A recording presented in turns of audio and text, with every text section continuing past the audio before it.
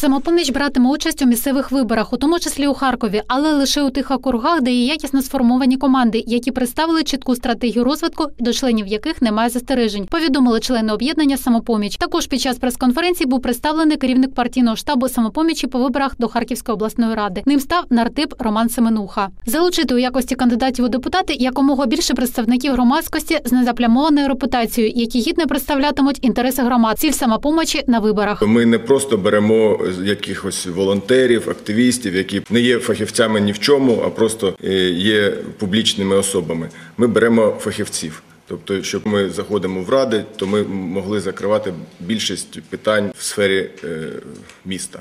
Є низка категорій кандидатів, яких самопоміч не підтримуватиме. Перш за все, це є люди, які мали будь-яку дотичність до діяльності партії регіонів, пов'язані з бізнесом партії регіонів. У нас є пересторога щодо участі в списках об'єднання самопоміч людей, які вже були депутатами. Громадське обговорення можливих кандидатур депутатів є обов'язковою умовою співпраці з самопоміччю. Кандидатів за плямованою репутацією зі списків виключатимуть. У самопомічі також закликали харків'ян і до активної участі у процесі виборів. Я думаю, що лише з громадськістю, забезпечивши представництво повноцінно в комісіях, ми зможемо реально відстояти той результат, який, врешті-решт, проголосують люди.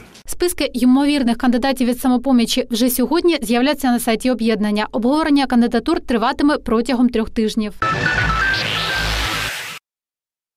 Контрабанда на 2,5 мільйони гривень. Прикордонники спільно з фіскальною службою перекрили канал незаконного переміщення через кордон товарів народного споживання. Про це повідомили в прес-службі Держприкордонслужби. Як з'ясували прикордонники, в Росію переправляли товари, придбані іноземними покупцями через українські інтернет-магазини. Охоронці кордонів біля пункту пропуску Ольховатка затримали два уази з контрабандним вантажем. Автомобілі не зупинилися, тому були зроблені попереджувальні постріли. У результаті більше десятка подальших обшуків в Харкові та Харківській області вилучено товарів на 2,5 мільйони гривень, валюту, банківські картки, вогнепальну зброю. До складу злочинної групи входило більше 30 осіб, у тому числі троє військовослужбовців відділу прикордонної служби Тимофіївка Харківського загону. Тривають слідчо-оперативні заходи.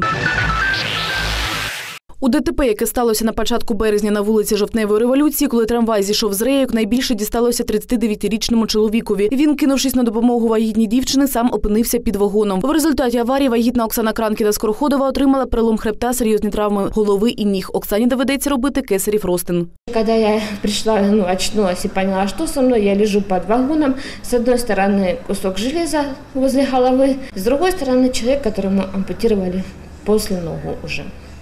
И ампутировали потому, что ему ну, около, больше, чем два часа не оказывали никакую помощь.